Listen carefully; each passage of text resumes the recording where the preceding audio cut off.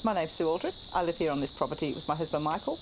It's a Trust for Nature property. It's 100 acres and um, we bought it around about five years ago now, yeah. It was completely and utterly devastated. Uh, it burnt, every single acre burnt. Um, we were actually renting a property at the bottom of the road, um, which we stayed and defended on the day. Uh, but I stood down there and watched this place burn and it was heartbreaking. Um, we came up the following morning and it was like somebody had dropped a nuclear bomb. It was utterly silent, it was black, it was still smoking, and there was just nothing. And um, it was very, very hard.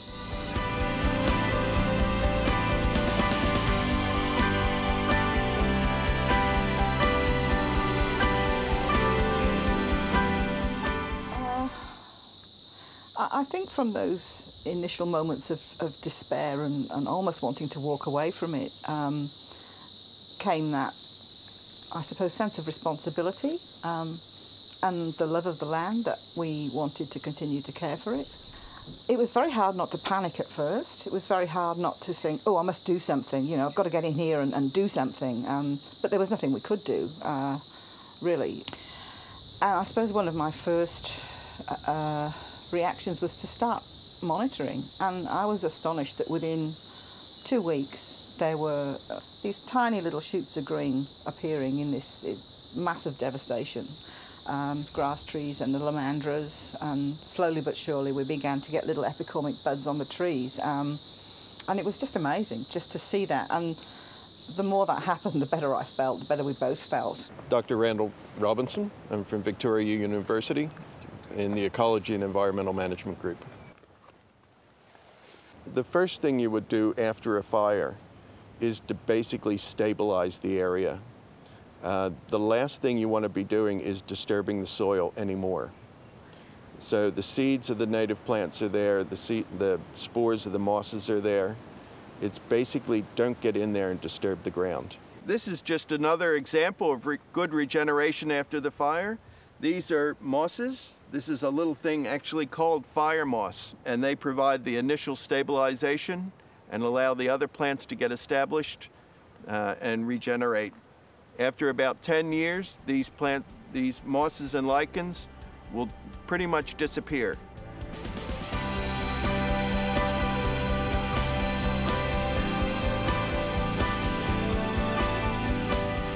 It's an excellent time for targeted weed control.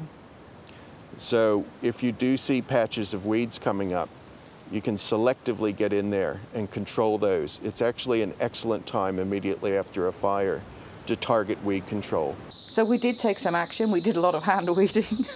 um, I've never seen cape weed the size of those cape weeds. They were like, I don't know, trees. and we we then began to realise that actually the cape weed was doing quite a good thing in holding the soil together where, where there was no uh, indigenous stuff that was competing with it. So as the months progressed, I began to feel more comfortable with taking a kind of a watching brief. And really, I think a lot of my action has been to monitor uh, what's regenerated.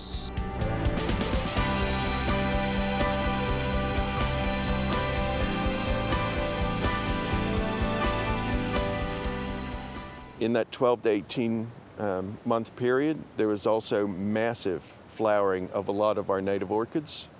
Um, with a lot of those, they're suppressed by the standing vegetation, but once released from that competition after a fire, they come up and they flower like mad. So things we hadn't seen in a long time were flowering. Uh, the spider orchids, the sun orchids, things like that were just massive carpets uh, everywhere.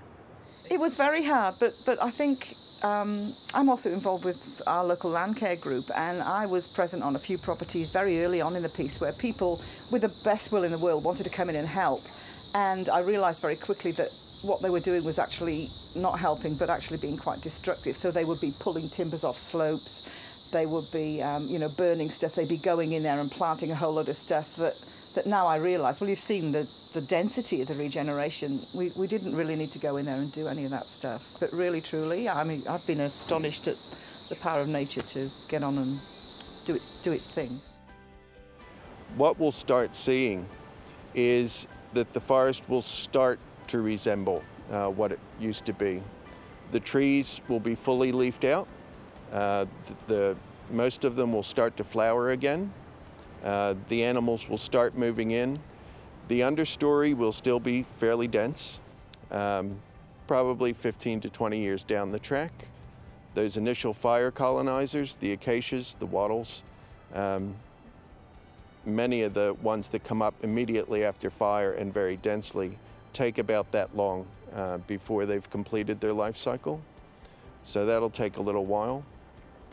But depending on the forest that you're in, it may be 20, uh, 20 years uh, before we see what we saw immediately the day before the fire.